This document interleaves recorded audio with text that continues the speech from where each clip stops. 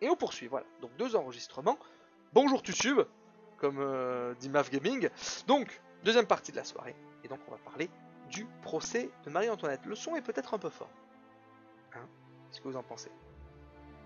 Pas non plus que ça perturbe. Alors, rapidement, faisons un petit point. Donc Marie-Antoinette va être jugée euh, le 14 octobre 1793.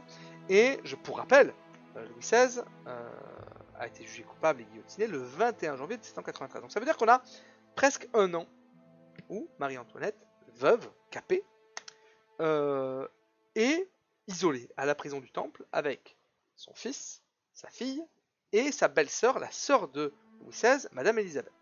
Bon. Et au début, en fait, on ne sait pas trop qu'est-ce qu'on va en faire. Et pour rappel, dans le procès du roi, il y avait pas mal euh, de parlementaires, parmi lesquels Cambacérès, nouvelle fois je vous renvoie au podcast qu'on avait fait sur le bonhomme, euh, qui voulaient en faire une monnaie d'échange. Et la question de Marie-Antoinette va être évidemment de savoir qu'est-ce qu'on en fait. D'ailleurs, euh, c'est tellement crédible que la fille Louis XVI sera Marie-Thérèse, elle s'appelle Marie-Thérèse comme l'impératrice d'Autriche, Marie-Thérèse de Bourbon, la fille du coup de Louis XVI de Marie-Antoinette, sera échangée. Elle va vivre celle-là. Elle va même épouser le fils, oh, alors là c'est consanguinité totale, nos problèmes, son cousin, effectivement, puisqu'elle va épouser l'hypothétique Louis XIX, qui est le fils de Charles X. Charles X, roi qui va régner de 1824 à 1830, et qui est le petit frère, le petit salopard qui s'est barré dès, dès juillet 89, qui a lancé les émigrés. D'ailleurs, c'est un des effets de la Bastille. La prise de la Bastille va lancer le mouvement des émigrés et quelque part la colère européenne contre la France. Donc, la vie va s'en tirer. Le fils va connaître un destin tragique, le dauphin, qui va être confié euh, à son culotte, enfin le, ah, le Louis XVII, il va connaître des conditions abominablissimes. Il va mourir euh, de tuberculose, dégueulasse. Et au final, Madame Elisabeth, la sœur de Louis XVI, va aussi être exécutée en 94, le 10 mai 94, alors que elle aussi, il y avait une question d'en faire éventuellement une otage. Bon. Donc se pose la question, bah, Marie-Antoinette, on en fait quoi? Le problème, c'est que Marie-Antoinette, le, le, peuple, c'est trop clivant. Euh, autant même il y avait un amour qui pouvait être attaché à Louis XVI, mais Marie-Antoinette, elle était détestée. C'est l'Autrichienne. Elle est considérée comme euh, le l'incarnation même des du peuple. Et en plus, on est dans une période où, comme je vous disais, à partir de mars 93, on a des traîtrises, du Mourier, on l'a évoqué, euh, les Girondins qui sont versés par la montagne. On a besoin de victimes expiatoires. Marie-Antoinette, elle est sous le coude. Elle est sous le coude. Donc, euh, en définitive, sous l'initiative de Bertrand Barrère, député de la Convention de Tarbes, pas loin de chez moi, hein, euh, et bien, à partir du 1er août 1993, on va exiger déjà de transférer euh, Marie-Antoinette de la prison du Temple à la conciergerie. Et on va l'amener. La conciergerie, c'est là où siège le tribunal révolutionnaire. Hein. Donc, euh, on se dirige vraiment vers un procès. Et finalement, la mise en accusation sera demandée le 3 octobre par un député conventionnel aussi très connu qui siège au comité de République, Billot Varenne. Euh, qui est euh, considéré d'ailleurs. La, la, phrase est chelou. Comme la honte de l'humanité et de son sexe. Ah, parce que. Euh, du coup, dans l'humanité, tu n'inclus pas. La formulation est bien miso. Ça donne le cadre. Sauf que le procès de Marie-Antoinette qui va s'ouvrir, eh ben, il repose sur que dalle. Autant Louis XVI, il y avait des éléments. Il y avait des éléments, mais qui avaient été purgés. Je vous renvoie, la fuite à Varennes, on dit non, le roi il a été enlevé, etc. Vous comprenez pas. Et Marie-Antoinette, il n'y a que dalle. 200 ans plus tard, on sait que Marie-Antoinette a comploté. On sait qu'elle a essayé de corrompre des parlementaires. On sait qu'elle a eu des tractations avec Antoine Barnave, un, un député girondin, celui-là même qui ira, avec le maire de Paris, Pétion, euh, les récupérer à Varennes. On sait qu'elle a des, correspondances avec son frère. Euh, j'ai un doute. J'ai un doute. C'est Joseph II, voilà, son frère, et euh, c'est son neveu François II d'Autriche, celui qui va se prendre une peignée monumentale par Napoléon à Austerlitz. À Ulm, Austerlitz, Wagram, tout ça. Mais le dossier est vide. D'ailleurs, Fouquier-Tinville, l'accusateur public qui du coup va être en charge du dossier, du, requérir au procès, ben, il est sacrément dans la merde.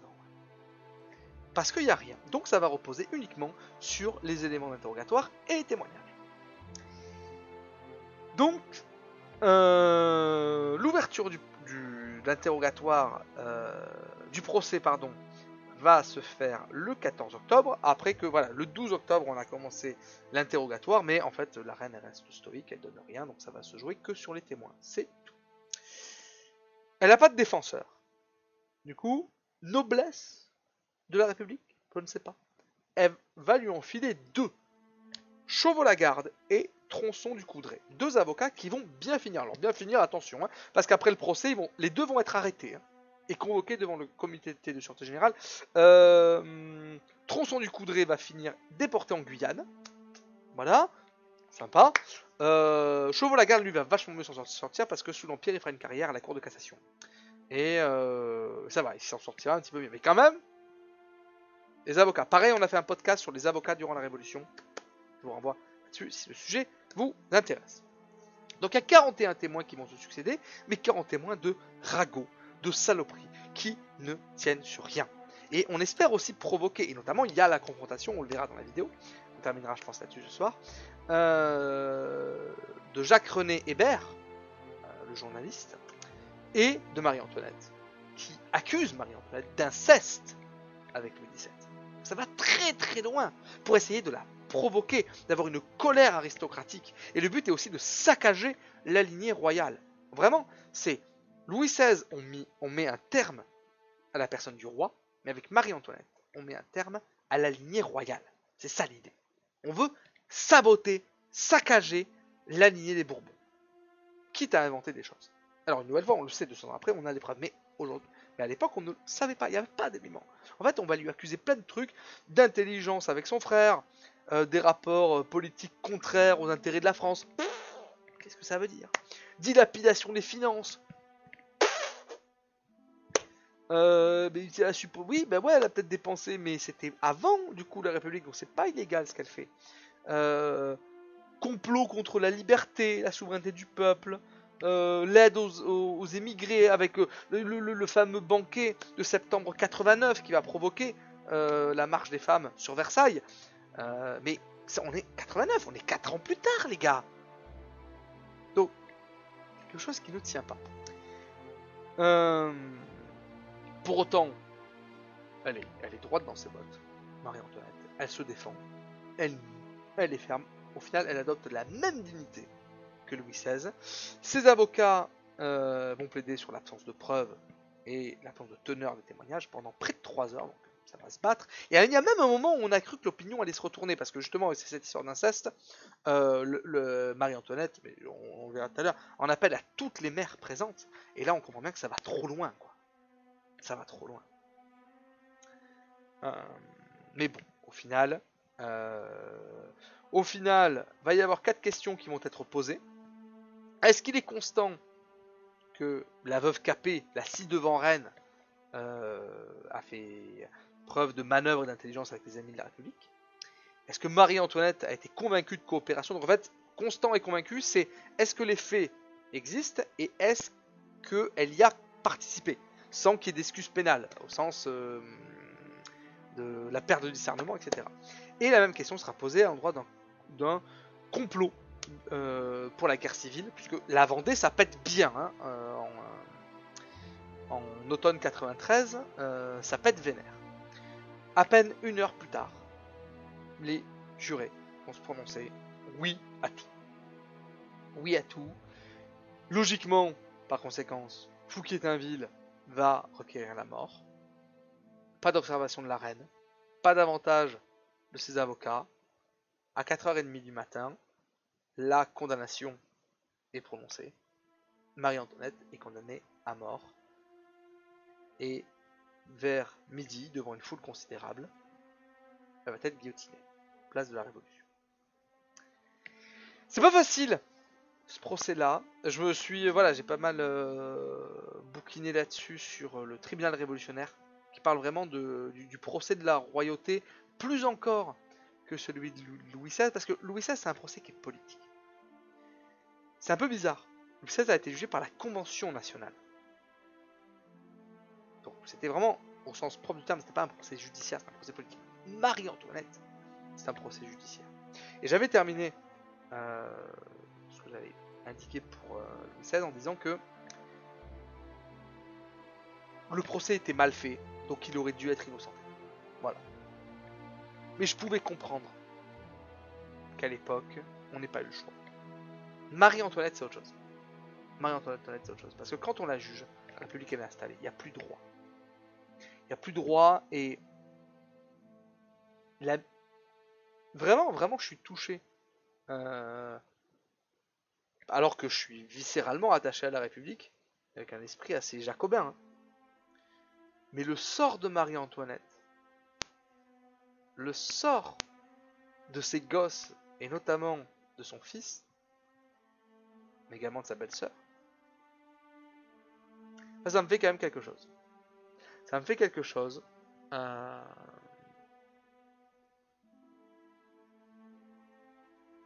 parce que même si on démontre plus tard, on, a les papiers, on les retrouve, les historiens ont travaillé, que Marie-Antoinette, elle a, joué un, jeu bien plus trouble que Louis XVI.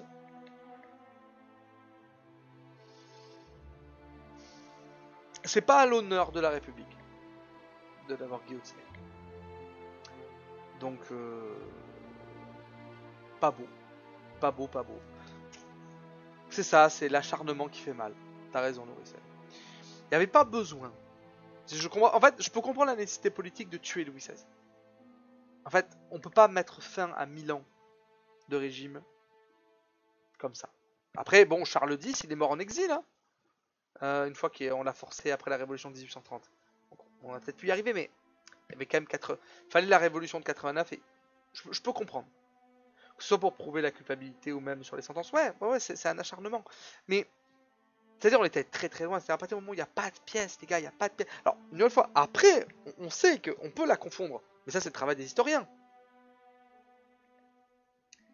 Mais, d'ailleurs, justement, je voulais relire un peu la conclusion euh, de, ce bouquin-là, du dictionnaire révolution, de dictionnaire de la Révolution française.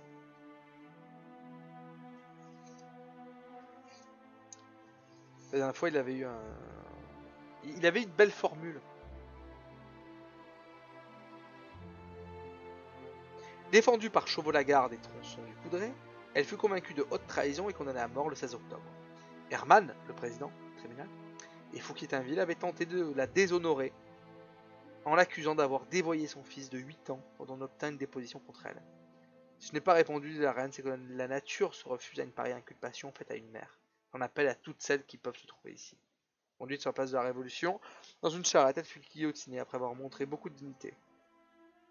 Sa dernière crainte avait été que le peuple ne la mît, en pièces. Pas beau, pas beau. Voilà, moi je, je peux être attaché à, la Révolution, mais c'est pas pour autant qu'on peut pas preuve euh, le discernement et la pas beau. Donc allons-y, voyons voir comment est-ce que le jeu traite de Marie-Antoinette, et voyons voir qu'est-ce que nous on va décider. Paris devrait s'estimer heureuse d'avoir un défenseur de la justice aussi féroce que toi.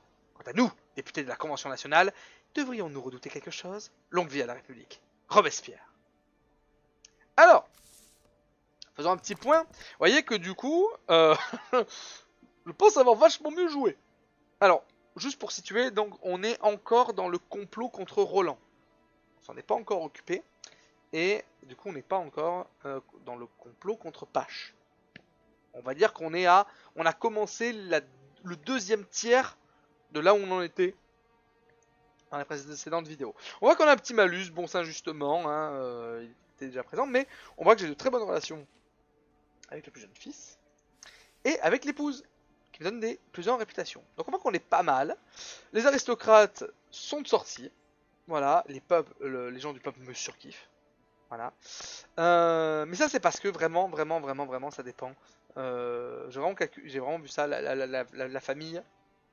Faut, faut vraiment tout faire pour la préserver. Surtout que on est en train de construire la statue et donc les soirs où je passe à construire la statue, euh, j'ai des malus avec la famille.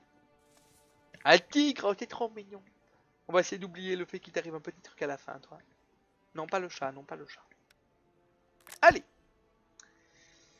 euh... Allez, je te prie de te présenter, citoyenne. Tu vas payer Ah ça, ça me fait du bien de récupérer les vieilles voix. Goldol explique qu'il ne s'agit pas d'une affaire ordinaire. Toute ta sentence dépend de l'avenir, de ton avenir. Je te prie de te présenter, citoyenne. Je vous demande pardon? Je pourrais considérer cette question comme un acte de mépris envers le tribunal.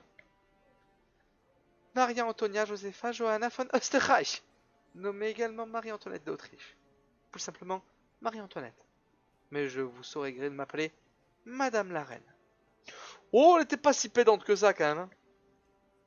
J'utiliserai le terme d'accusé, de ci-devant reine, de citoyenne capée. Et pourquoi pas la catin autrichienne? Oh.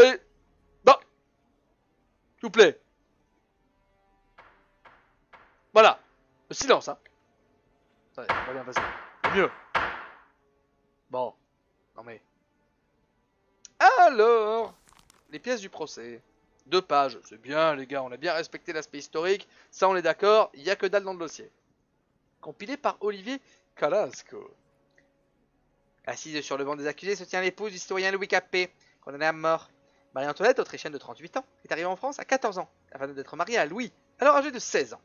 Leur union avant tout politique était censée renforcer l'alliance entre les royaumes de France et d'Autriche.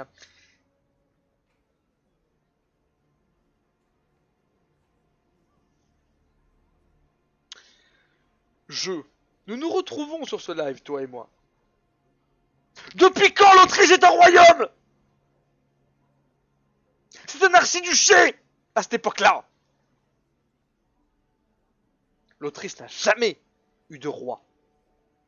L'Autriche-Hongrie a eu le roi de Hongrie. Mais avant tout, prend d'Autriche. François-Joseph. Je, je me déçois. Joseph II, le frère de Marie-Antoinette, était empereur de cet empire romain germanique à cette époque-là. Il n'était pas roi Roi de Bohème, d'accord? Mais il n'y a pas de royaume d'Autriche. Je chipote, je chipote. Manquant d'expérience et de savoir-faire, Marie-Antoinette et son défunt mari étaient tous deux incapables de régner. Leur incompétence mena la France à l'endettement, et les Français à la famine et à la misère. L'ancienne reine et son mari ne modéraient en rien leur mode de vie fastueux, alors même que le pain devenait hors de prix pour les gens du peuple. Marie-Antoinette et Louis Capet tentèrent de s'évader du palais des Tuileries, où la famille royale était détenue par les révolutionnaires détenu euh, que dalle. Non, c'est un palais euh, constitutionnel. Qu'est-ce que tu racontes? C'est pas une prison. Leur plan consistait à revenir en France et les armées des royaumes voisins, mais ils furent arrêtés avant de pouvoir franchir la frontière. À leur retour, Louis et Marie-Antoinette échappèrent de justesse au lynchage par l'entremise d'Antoine Barnave. On l'a évoqué. Ce célèbre orateur intercéda en leur faveur, s'attirant par là même la suspicion. On estime que Marie-Antoinette servait de lui à ses propres femmes politiques. Des années durant, Marie-Antoinette a été soupçonnée d'agir contre les intérêts de la France, de creuser un profond déficit dans les comptes de l'État, de comploter contre la Révolution et de chercher à restaurer la monarchie. On attribue possiblement les revers de la France contre l'Autriche à une trahison de sa part. Elle aurait transmis des secrets militaires français à son pays natal. Cependant, nous manquons de preuves pour étayer cette imputation. Alors, il est vrai que ça, ça par contre a été démontré. Il y avait un témoignage qui était assez solide de qui euh, Attendez, je l'avais noté. Je noté. Euh, ah, je l'avais noté, je noté. Si, l'ancien ministre, la Tour du Pain, ministre de la guerre, qui avait donné à la reine l'état exact des armées. Donc ça, c'était un élément quand même dans le procès. C'était un petit peu rouge. Pourquoi est-ce que la reine veut connaître exactement l'état des armées? Le roi, d'accord, puisque constitutionnellement, par la constitution de 1791, c'est lui qui peut déclarer des guerres. D'ailleurs, c'est lui qui le fera en 92 contre l'Autriche et la Prusse, etc. Pas l'oublier celle-là. Euh, mais la reine, non. la reine, elle n'a pas à connaître ça. Donc ça, c'était un élément quand même qui était à charge. La citoyenne est également accusée de mœurs immorales. Le bruit court qu'elle serait adonnée à des gestes indécents à l'égard de son garçon, Louis-Charles, âgé de 8 ans. Bon, bah, au final, c'est à peu près l'état du dossier. Le jeu, à part le fait que tu te plantes sur le royaume d'Autriche, à peu près. Alors, mode de vie fastueux, personnalité. Bon, ça commence. Mais, mais, mais, mais, mais, ah là, et puis j'ai deux erreurs possibles. Waouh, c'est chaud. Les mœurs légères de la reine. Personnalité. Le jeune prince Louis-Charles.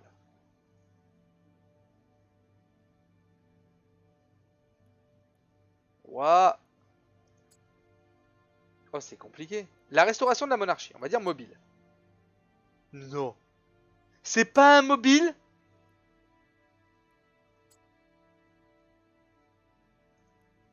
Mais c'est une blague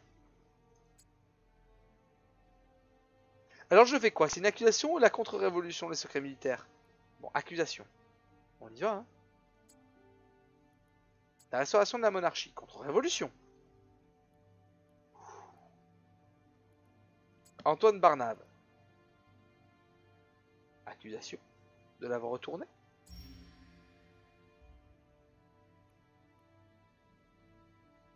Ouais, vas-y, je prends l'aide du mentor. Moins de points d'influence, mais c'est pas grave. Le jeune prince Louis-Charles. Une accusation d'inceste Oh là là Bon, bah il va pas être brillant le procès, hein. Est-ce qu'accusé a avoué le crime? Sûrement, surtout qu'il y en a eu plusieurs. Comment la prévenue dilapidait-elle son argent? Au jeu?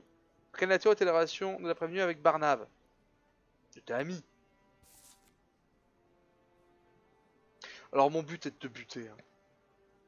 Je suis désolé. Hein. Ah merde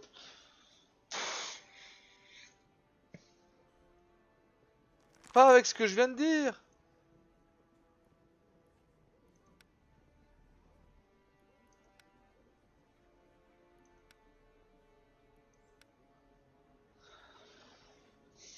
le problème, c'est que l'opinion du jury... Euh... Non, mais c'est mort. Hein. Non, et puis je dois répondre aux questions, et malheureusement... Je dois admettre que toi et Antoine Barnave êtes bien similaires. L'accusé l'a-t-elle déjà soupçonné d'apporter son aide par intérêt? Cela ne m'avait jamais effleuré l'esprit. Antoine est un homme au bon cœur. Il souhaitait aider. Il ne me revient pas de le juger pour ses opinions politiques. Votre point commun, le plus notable, était votre haine de la France.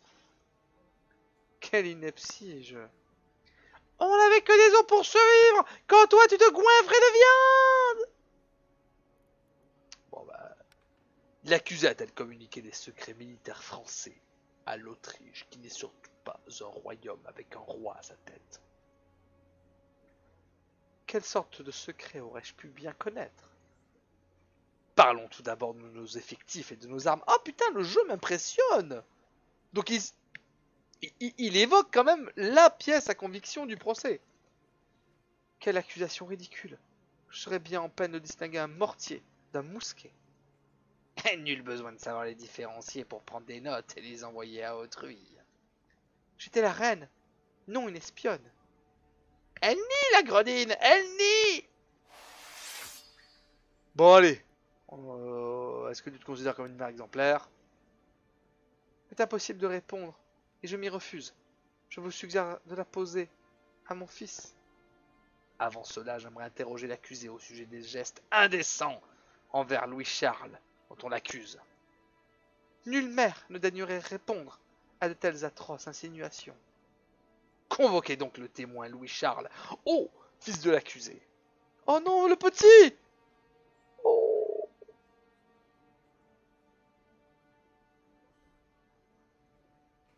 Oh là là Putain, foutez-lui la paix à ce gamin Je te prie de te présenter, citoyen. Je m'appelle Louis Charles. Sais-tu pourquoi nous t'avons invité ici? Non Pourquoi? Ta mère t'a-t-elle déjà... T'a-t-elle déjà agi... Non, c'est mal formulé. A-t-elle déjà agi avec toi d'une manière qui te sembla... Que voulez-vous dire? D'une manière qui t'aurait rendu honteux. Eh bien, ma mère aimait me prendre dans ses bras devant tout le monde. Cela me gênait. Te prenait-elle souvent dans ses bras? Très souvent. Elle venait même parfois jusque dans mes appartements la nuit pour le faire. Éprouvais-tu alors de la gêne? Non, car personne ne me voyait. Non mais putain, mais c'est quoi la question? Ta mère t'a-t-elle déjà parlé de son intention de fuir en Autriche et d'abolir la République? Non, ni mère ni père ne m'ont jamais parlé de cela. Je ne sais même pas ce qu'est la République. Il a 8 ans C'est un témoin de 8 ans Le jeu, qu'est-ce que tu fais? Bien évidemment que le gosse n'a jamais comparu devant le tribunal révolutionnaire Monsieur Barnave était-il fréquemment invité? Mais tu vois pas la gênance là de tout le monde? Oui, j'aime beaucoup Monsieur Barnave. Il est toujours très aimable. Il m'apporte des jouets. Pour soigner ma tube... Il m'a récemment donné ce garde en bois. J'aurais dû le faire tousser le gosse. Lui et ta mère se sont déjà comportés d'une façon étrange avec toi. Mère m'a dit un jour de le respecter mon père.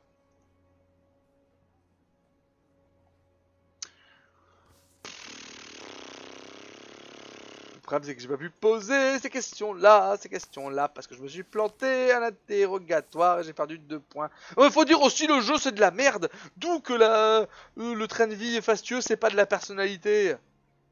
Je vois pas le rapport, il est vivant, ça compte. C'est vrai, ça. Oh là là là là là là là là. Bon, on va mettre le rapport comme ça, hein. Pensez quoi, mon cher greffier Lorisen? Est-ce que l'accusé a avoué le crime? Non. Non, non, elle n'a pas avoué le crime. Comment l'a prévenu dilapidait-elle son argent On va dire au jeu. Hein, moi, je vais suivre euh, l'image qu'on a de Marie-Antoinette qui dilapidait avec des cartes. De quelle nature était la relation de la prévenue avec Barnave Ils étaient amis. Peut-être qu'elle y répond, non? Ah. Est un homme bocal, se dit, ne revient pas. Ils étaient amis, mais même pas en fait c'est tout. en tout cas, ils n'étaient ni cousins ni amants. Bon. Bon, j'avoue, j'hésite. La disculpation. Oh là là. Ah, mais je suis obligé de suivre le vote du juré. Sinon, je vais prendre un putain de malus.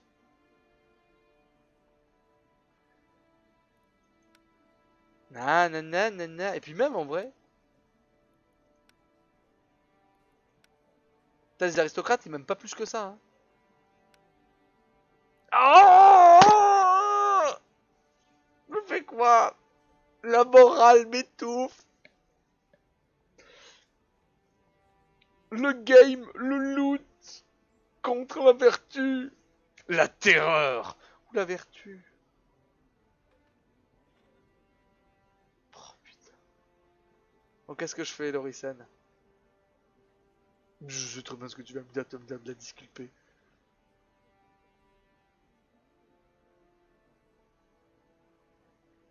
Bah non, ça quick C'est vrai que je pouvais compter sur toi. Bon, je demande pardon à l'histoire. Voilà, j'ai essayé de rendre hommage à la reine Marie-Antoinette, mais là, le jeu m'y pousse.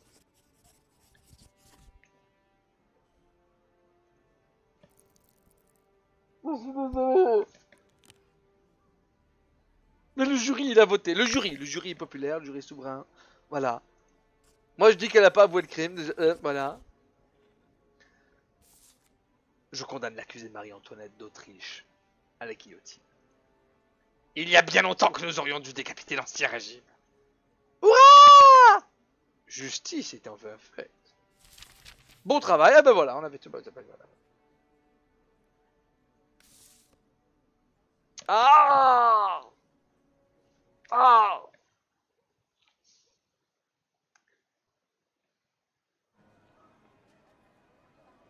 Allez, on va faire un petit discours.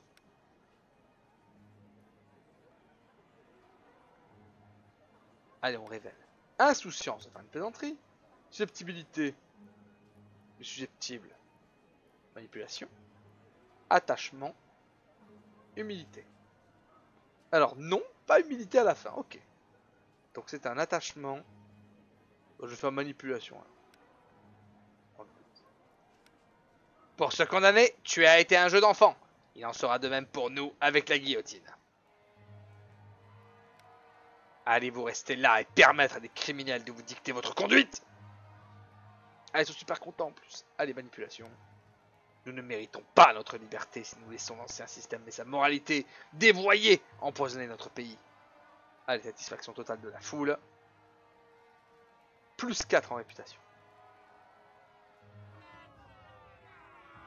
Vous ai-je marché dessus? Je demande pardon, je ne l'ai pas fait exprès. Oh, c'est la phrase historique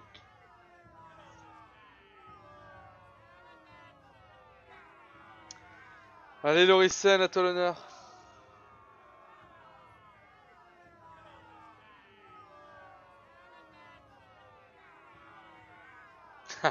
Allez.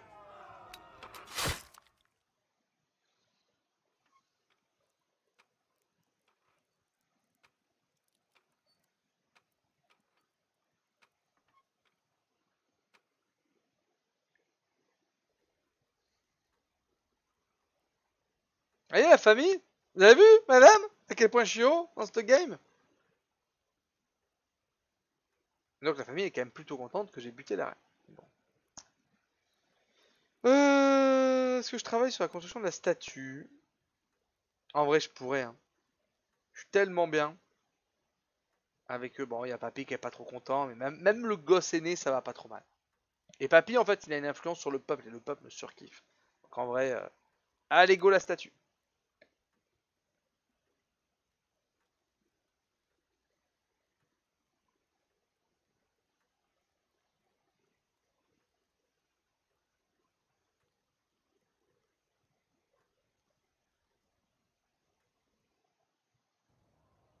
Je pense que voilà, on termine cette phase de jeu.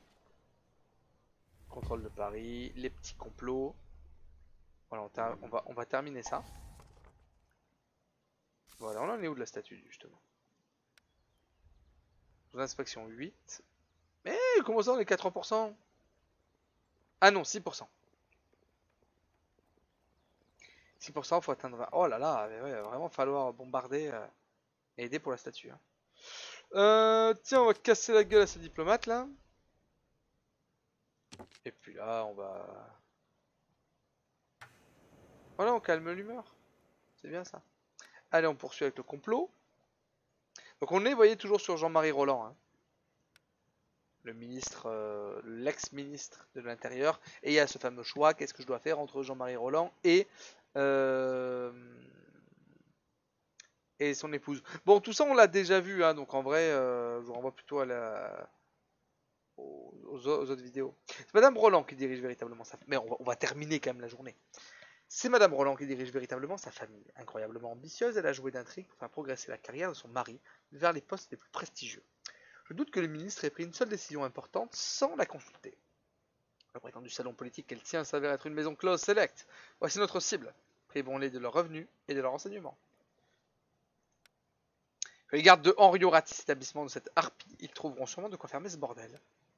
Les épouses des députés de la Convention découvriront quelle nature est le salon politique que fréquente leur mari.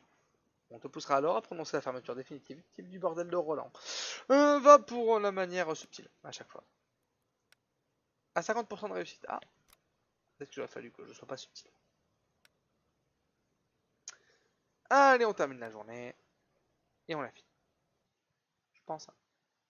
Voilà. J'aimerais quand même qu'on se regarde le petit procès de Marie-Antoinette, on finira là-dessus. Ah, ben ça oui, en plus on l'avait déjà fait. Ce procès de Madame R le juge. Allez, on quitte ça. Le petit procès de Marie-Antoinette. On a eu deux extraits, on aura causé histoire, etc. Ça me paraît pas mal. Allez, hop. Le son est bien, on est parti. Allez, avance Mais l'actrice qui fait Marie-Antoinette, je trouve qu'elle lui ressemble pas mal. C'est un bon choix. voyez la, te- la, la, la tenue, c'était repris aussi dans, dans le jeu. Enfin bon, elle est assez connue aussi. hein, quand même, de- de cadeau.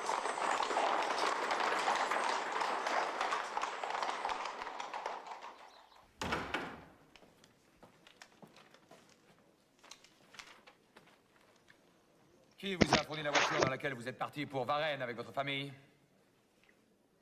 Un étranger. De quelle nationalité Suédoise. Cet espace Fersen, qui demeurait rue du Bac, à Paris. Oui. Comment Oui. Faites entrer le témoin Hébert.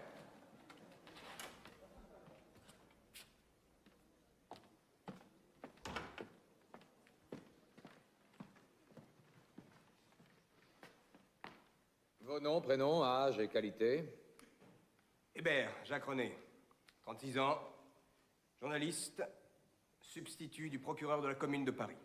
Jurez devant la nation et devant les hommes de témoigner sans haine et sans crainte. Jurez de dire la vérité et rien que la vérité. Je le jure. Faites votre déposition.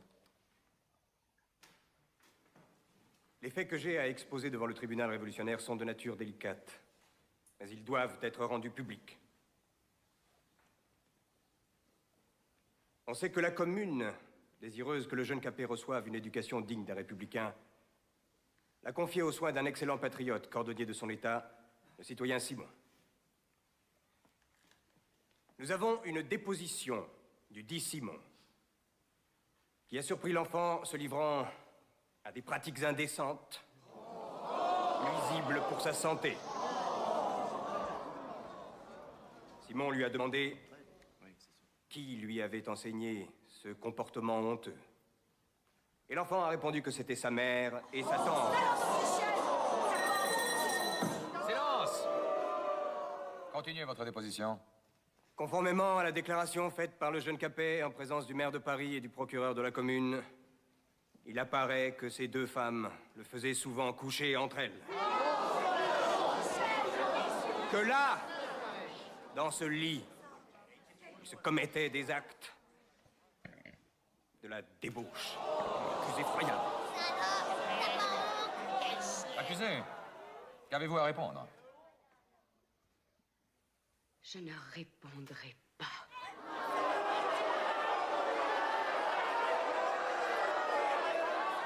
Je ne répondrai pas! Parce que la nature elle-même rejette une telle accusation J'en appelle à toutes les mères qui sont présentes ici. J'en appelle à vous. 1, 2, 3, Alors. 4, 5, 6. Mais là, mais là, c'est un passage qui m'intéresse pas. Dans ton cas, la campagne. On voit pas les, les avocats, y a pas de plaidoirie.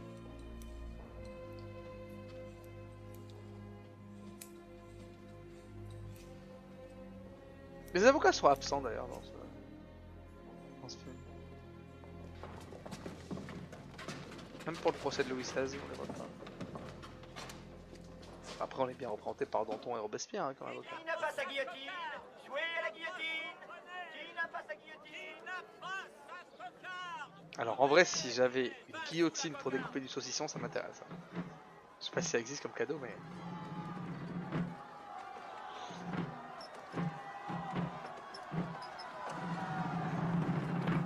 Peu dangereux, je pense,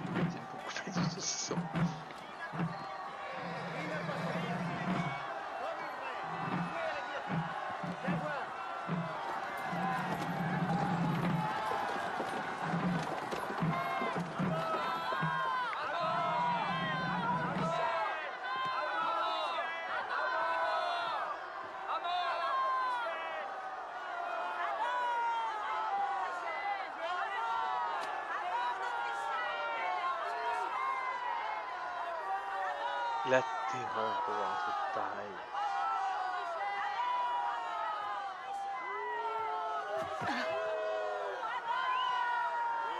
Excusez-moi, monsieur. Courage, madame.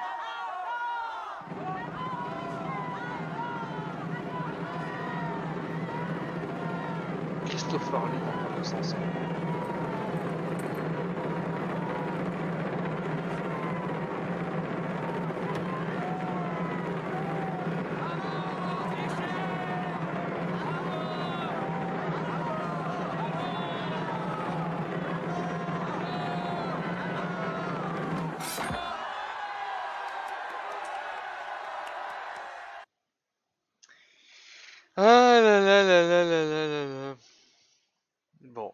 Bah j'aurais espéré que le procès de Marie-Antoinette euh, bah, dure davantage euh, dans le jeu.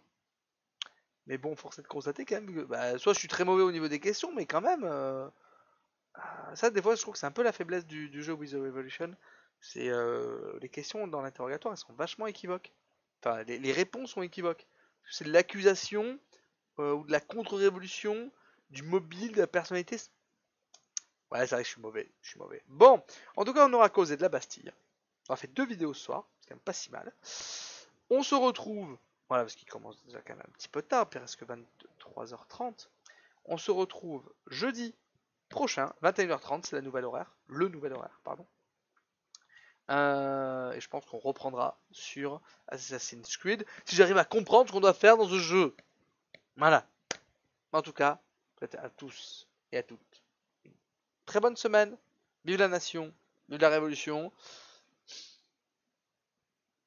Mais ouais, sans oublier euh, ce qu'elle a fait de terrible. Petite pensée quand même. Hmm. C'est de quoi passer des bonnes nuits.